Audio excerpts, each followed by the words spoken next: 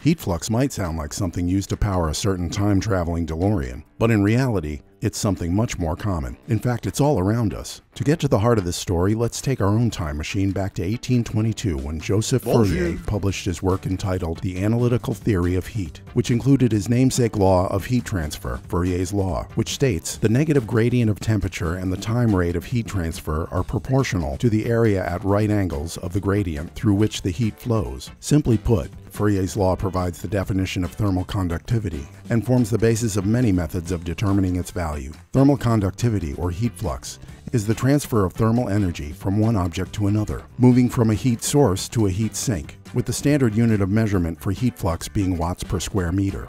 You've probably experienced heat flux yourself. For instance, when you get cold feet from standing on a cold floor, the temperature of the floor is lower than that of your feet. Hence, heat flows from your feet to the floor, with the floor acting as a heat sink. An opposite example would be if you're standing in a room with an ambient temperature of 72 degrees, but then you move in front of a window with sunlight coming through. The radiant heat from the sun is absorbed by your skin, making you feel warmer, even though the ambient temperature of the room is still 72 degrees.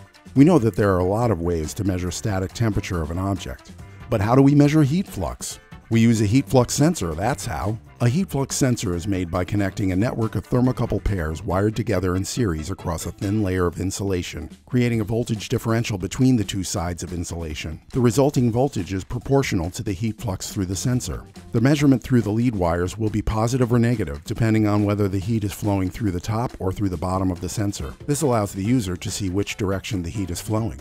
Heat flux sensors can be found in many applications across many fields from the study of building envelope thermal resistance in order to design and build more energy efficient structures, to industrial applications where temperature and heat flux may be much higher, such as blast furnaces and solar concentrators. Wherever heat transfer needs to be measured, you'll find a heat flux sensor at work. Still have questions? We have answers. Call or chat online at omega.com and be sure to like and subscribe.